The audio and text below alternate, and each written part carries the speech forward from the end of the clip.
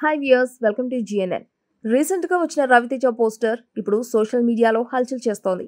విక్రమార్కుడు సినిమాలో విక్రమ్ రాథోడ్గా ఎలా ఉన్నాడో ఇప్పుడు కూడా అలాగే ఉన్నాడు మాస్ రాజా అంటూ నెటిజన్స్ కామెంట్స్ చేస్తున్నారు. ఎందుకంటే వయసు పెరిగే కొద్దీ గ్లామర్ని ఎనర్జీని మెయింటైన్ చేయడం చాలా కష్టం. కానీ రవితేజ మాత్రం తన హీరోయిజానికి ఏ మాత్రం ఎనర్జీ తగ్గకుండా సినిమా సినిమాకి కసరత్తులు చేస్తూ తనలోని టాలెంట్ని ఎప్పటికప్పుడు ప్రేక్షకులకు చూపిస్తూనే ఉన్నాడు. ప్రస్తుతం రవితేజ చేస్తున్న క్రాక్ సినిమా కూడా కేకలు పుట్టిస్తుందని అంటుంది చిత్ర యూనిట్. డైరెక్టర్ గోపీచంద్ మల్నేనికి రవితేజ కాంబినేషన్కి మంచి క్రేజ్ ఉంది అందులోనూ శృతి హాసన్తో మరోసారి కాంబినేషన్ కాబట్టి మంచి కిక్ ఇవ్వడం పక్కాగానే కనిపిస్తోంది. రియల్గా జరిగిన ఒక యథార్థ సంఘటనల ఆధారంగా ఈ సినిమాని తెరకెక్కిస్తున్న సంగతి తెలిసిందే. ఇందులో పవర్ఫుల్ పోలీస్ ఆఫీసర్ వీరశంకర్గా రవితేజ కనిపించబోతున్నాడు. అప్పట్లో విక్రమ్ రాథోడ్ని గుర్తు చేయడం పక్కాగానే కనిపిస్తోంది. ఇక ఈ సినిమా చివరి స్కెడ్యూల్ని రీసెంట్గా ప్లాన్ చేసింది చిత్ర యూనిట్.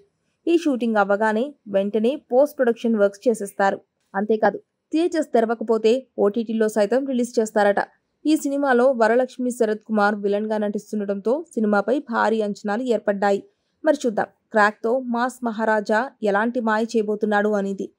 మరిన్ని ఇంట్రెస్టింగ్ అప్డేట్స్ కోసం జేఎన్ఎన్ తెలుగు ఛానల్ను సబ్స్క్రైబ్ చేసుకోండి. Please subscribe JNN TV. Thank you.